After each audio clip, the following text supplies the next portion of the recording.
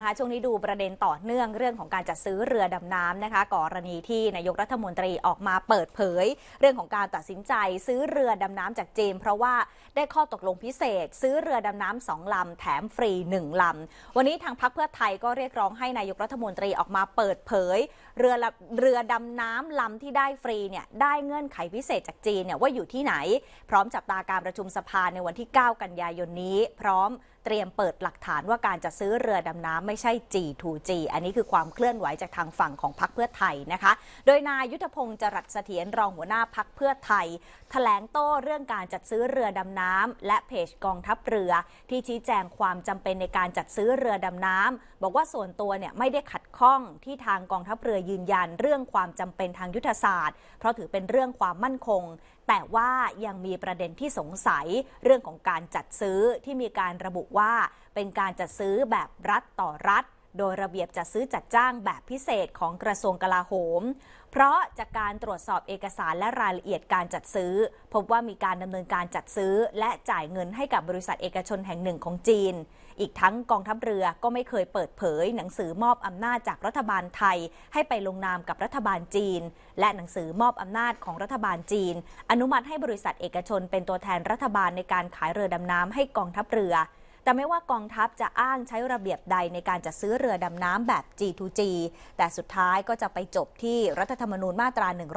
178 ที่ระบุหนังสือสัญญาอื่นที่อาจกระทบต่อความมั่นคงทางเศรษฐกิจต้องผ่านความเห็นชอบของรัฐสภา แต่ว่าจนถึงขณะนี้ยังไม่เห็นโครงการจัดซื้อเรือดำน้ำแบบ G2G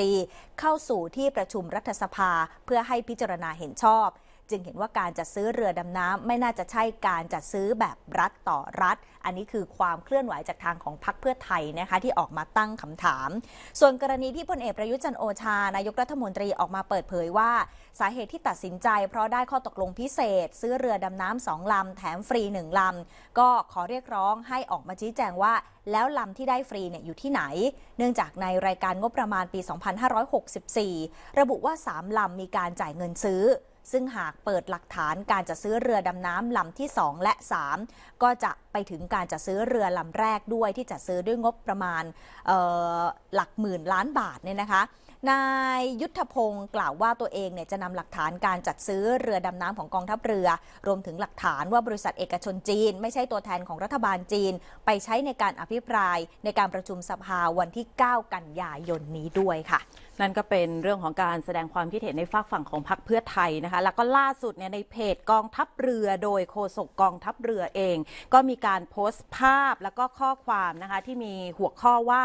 มีเรือดำน้ำไปทำไมในบริบทข้อจำกัดด้านภูมิศาสตร์ ซึ่งก็อธิบายเหตุผลนะคะไม่ว่าจะเป็นภูมิศาสตร์ที่เราจำเป็นต้องมี และเรื่องของการจัดซื้อจัดหาต่างๆนะคะ ซึ่งเดี๋ยวข่าวค่ำจะมาไล่เรียงประเด็นให้ดูกันให้เห็นทั้งสองฝ่ายเว่าทางฝั่งเพื่อไทยเขากล่าวหาลักษณะนี้ ถึงแม้ว่าตอนนี้เนี่ยงบปีนี้จะยังไม่ได้มีการนำไปจ่าย เพื่อที่จะให้นำงบเนี่ยมาแก้ไขปัญหาเรื่องของสถานการณ์โควิด แต่ถามว่าหลังจากนี้ถ้าจะต้องจัดซื้อเรามีเรือดำน้ำไปทำไมคำถามที่หลาย ๆ คนถามนะคะ เดี๋ยวก็จะมีการออกมาอธิบายให้ได้เห็นข้อเท็จจริง เดี๋ยวข่าวค่ำก็จะให้เห็นทั้งสองมุมด้วยนะคะ ใช่ค่ะ